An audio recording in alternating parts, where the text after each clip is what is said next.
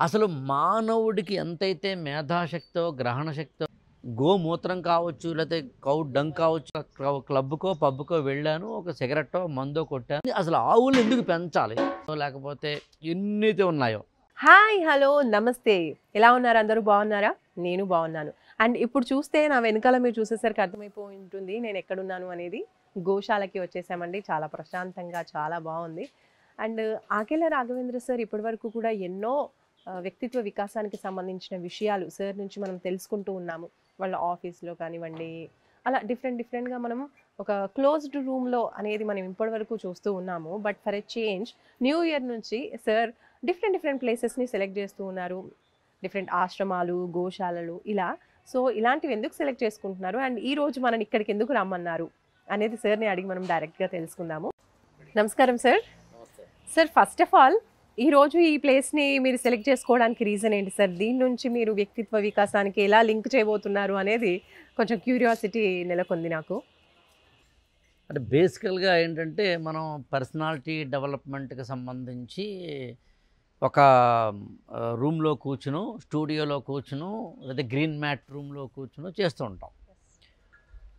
భగవద్గీతని కృష్ణుడు ఎక్కడ చెప్పాడు అర్జునుడికి అంటే ఒక యుద్ధక్షేత్రంలో. ఈ పక్కనేమో ఆయుధాలు పట్టుకున్న సైనికులు ఆ పక్కన యుద్ధానికి సిద్ధంగా ఉన్న వీరులు. అంటే కల్లోలితమైన వాతావరణంలో కల్లోలితమైన మనసుకి ఒక ప్రశాంతమైన లేకపోతే ధీరోదాత్తమైన మెసేజ్ ఇవ్వడం.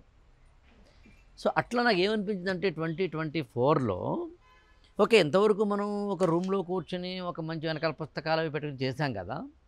వ్యక్తిత్వ వికాసాన్ని జీవన వికాసాన్ని సాంఘిక వికాసాన్ని ఒక వృద్ధాశ్రమంలో కావచ్చు లేదా గోవులున్న చోట కావచ్చు లేకపోతే అనాథాశ్రమంలో కావచ్చు ఇంకా అనేకమైన ఇంకా నాకు కూడా ఏమి ఇంకా ఎన్ని ఉన్న- ముందు ముందు ఏం చేస్తాను తెలియదు కానీ ఇలాంటి చోట చేస్తే బాగుంటుంది కదా అనిపించింది. ఇవాళ ఇక్కడ మామూలుగా ఏంటంటే మనం ఉన్నది ఎక్కడ అంటే ఒక ఆవులు ఉన్న చోట ఉన్నాం మనం. గోశాల. ఉన్న చోట ఉన్నాం మనం. శ్రీ శంకర విద్యాభారతి గౌ గౌ సంరక్షణ చారిటబుల్ ట్రస్ట్ ఇంకా చెప్పాలంటే. ఒక ఆవుల్ని ఉప్పల్ అనే ఏరియాలో ఉన్నాం మనం సృష్టిలో ప్రతిదీ కోకికైనా కోకిలకైనా కాకికైనా కుక్కకైనా నక్కకైనా దేనికైనా కానీ ఒక ప్రత్యేక స్థానం. ఉంది జువాలజీ చదివిన ఎవరైనా అడగండి. జంతుశాస్త్రం చదివిన వాళ్ళని. అసలు మానవుడికి ఎంతైతే మేధాశక్తో గ్రహణ శక్తో లేకపోతే ఎన్నైతే ఉన్నాయో అవన్నీ మనకన్నా ఎక్కువగానో మనతో సమానంగానో ప్రతి జంతువుకి ఉన్నాయి. వాటి వాటి విలక్షణతల్లో. ఎందుకని ఇవాళ యాక్చువల్గా ఈ ఇక్కడ వీరెవరైతే నిర్వహిస్తున్నారో వాళ్ళతో కూడా మాట్లాడదాం. అసలు ఆవులు వాటి యొక్క సైకాలజీ వాటిని ఎలా అర్థం చేసుకుంటాయి? అవి ఎలా అర్థం చేసుకుంటే వాటిని మనం ఎలా అర్థం చేసుకోవాలి? గోమూత్రం కావచ్చు లేకపోతే కౌ డంగ్ కావచ్చు వీటిని ఏ విధంగా ఇవాళ మనం ఒక సైంటిఫిక్ నేచర్తో చూడొచ్చు ఇలాంటివి తెలుసుకుందాం. నా సిద్ధాంతం ఏంటంటే జీవితంలో ఎక్స్ప్లోరేషన్ చాలా ఇంపార్టెంట్. నేను నా జీవితం నా బతుకు నా పిల్లలు నా పెళ్ళాము మా అమ్మ మా నాన్న నా కెరీరు నేను ఏదో నాలుగు డబ్బులు సంపాదించుకున్నాను ఒక క్లబ్కో పబ్కో వెళ్ళాను ఒక సిగరెట్టో మందో కొట్టాను.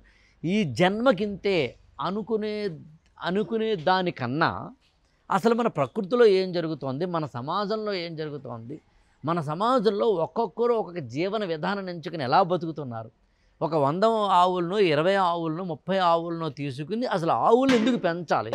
ఆ ఆవుల్ని పెంచి వాటిల్లో వాటి ద్వారా ప్రోడక్ట్స్ కానీ ఇంకోటి కానీ ఎలా చేయాలి? ఏమిటి? ఇలాంటి వాటికి సంబంధించుకోవాలి సో అందులో ఎక్స్ప్లోరేషన్ నాకు ఇష్టం కాబట్టి ఊర్లు తిరుగుతాము లేకపోతే ఇంకో చోటుకి వెళ్తాము. అట్లా ఇక్కడికి వచ్చాము వాళ్ళ మన సరే సార్ ఈ గోవుల్ని అన్ని చూస్తూ ఉంటే నాకు ఏమనిపిస్తుందంటే చాలా మందికి యానిమల్స్తో పెట్ యానిమల్స్ కావచ్చు ఇలా ఆవులు కావచ్చు వాటితో ఫ్రెండ్షిప్ చేస్తూ ఉంటారు. ఏజ్తో సంబంధం లేకుండా. అయితే ఫ్రెండ్షిప్ అనేది మామూలుగా ఎలా ఉండాలి? ఇప్పుడు యానిమల్స్తో ఫ్రెండ్షిప్ చేస్తారు వాటికి ఏమీ తెలియదు మనకి రిజల్ట్గా వాళ్ళ నుంచి ప్రేమే వస్తుంది యానిమల్స్ నుంచి. బట్ సమాజంలో చూసుకుంటే ఫ్రెండ్స్ చాలా రకాలు ఉంటారు. ఎలాంటి పర్సన్స్ని ఫ్రెండ్గా సెలెక్ట్ చేసుకుంటే వాళ్ళకి బాగుంటుంది. నేనేమంటానంటే మనుషుల్ని ఫ్రెండ్స్గా సెలెక్ట్ చేసుకోకపోవడం మంచిది అంటాను నేను ఎందుకు అంటే దాన్ని కొంచెం విపులంగా చెబుతా లేకపోతే నా ఫ్రెండ్స్ ఎవరైనా ఉన్నా లేకపోతే నన్ను విమర్శిస్తారు. ఫ్రెండ్స్ అంటే అర్థం ఏంటంటే మనం ఎప్పుడైనా ఒక బాధలో ఉన్నప్పుడు మనల్ని సాంత్వన చేకూర్చేవాళ్ళు లేదా ఎదుటి వ్యక్తి ఎప్పుడైనా సాంత్వనలో ఉన్నప్పుడు మన ఫ్రెండ్ అయినప్పుడు మనం వాళ్ళకి సాంత్వన ఇవ్వడం. ఇది ఫ్రెండ్షిప్లో వన్ ఆఫ్ ద పార్ట్స్.